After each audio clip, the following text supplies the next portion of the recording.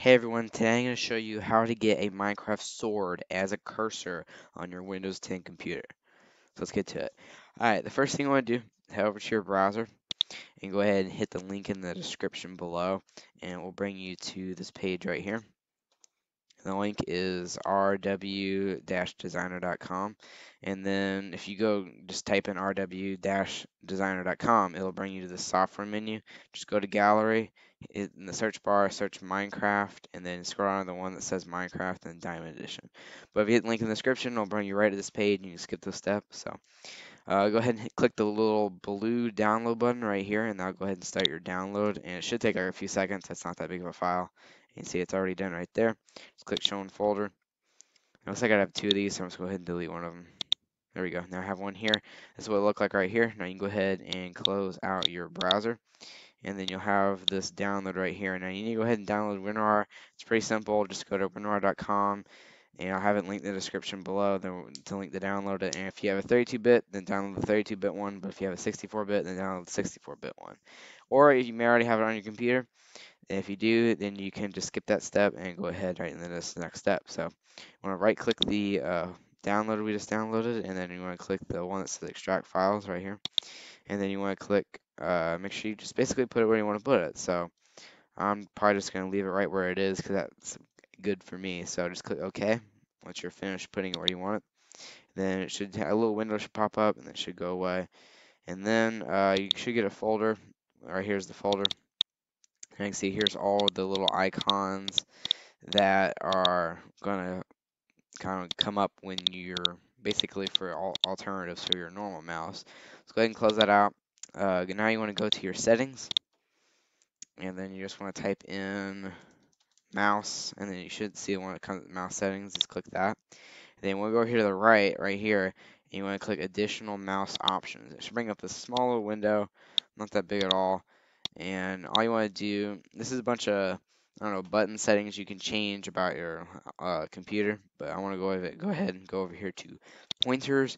And you should get uh, something that looks like this, um, go ahead and just click this little scheme button right under scheme here, and we'll just click none, and then you can see these are all what everything looks like, or what it would look like um, with normal, normal, uh, your normal mouse would look like. These are all the things they would look like if they came up. Now, uh, basically, you want to find that folder with browse. So click this, so pick your normal select, and then click browse and then you want to find the one you're looking for and ours is in desktop I think it was in the downloads folder Give a second I gotta find it there it is now right here so go to open that up and then just click the one you want click open and you can see now our cursor that's what our cursor will look like instead of the one we have now now just go ahead and go to the next one do the same thing and then click the next one and just keep going down, make sure it's the same name, working in background, click open. Or you can just double click it as well. Same thing with busy. Just keep keep scrolling down and do the one, uh, every one of them. There won't be one for every one of them. There'll be some at the bottom that uh, actually this one doesn't have for it. Which one is this one? Oh, the handwriting one. Uh, so yeah. Uh, some of, there's only there's like two of them that you can't do, but other than that, there's basically one for every one of them. Let me finish, oops, one. Let me finish putting this in real quick here.